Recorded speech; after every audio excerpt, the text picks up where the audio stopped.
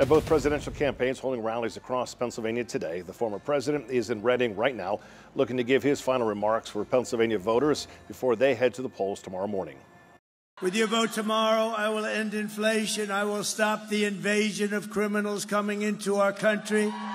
And I will bring back the American dream. You're going to have the American dream back. Now, the Oh, former president will hold a rally in the Pittsburgh area later tonight before finishing with a rally in Michigan. Meanwhile, Vice President Harris is in Allentown right now to rally protesters in Lehigh County. She is at Muhlenberg College focusing on gaining support from Latino voters. That rally is the second stop of several following up her morning visit with voters in Scranton, laying out promises to Pennsylvanians if she's elected.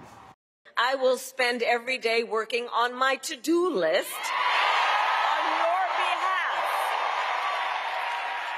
full of priorities that are about improving your life, about bringing down the cost of living, about banning corporate price gouging on groceries, about making housing and childcare more affordable.